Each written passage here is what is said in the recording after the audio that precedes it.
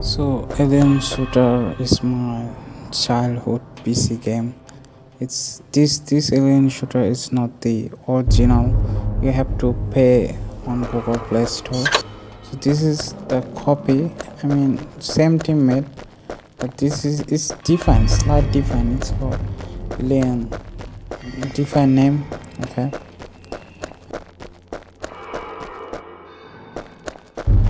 It's called Alien Shooter Isometric Alien Invasion. Same as before, same gameplay. So.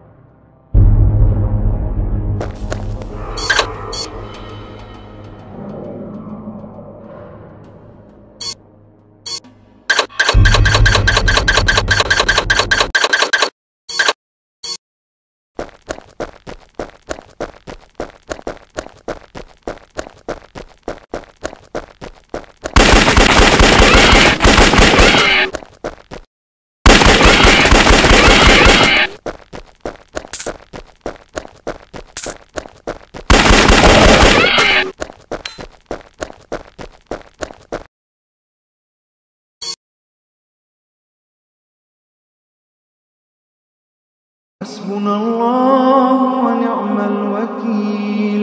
حسبنا الله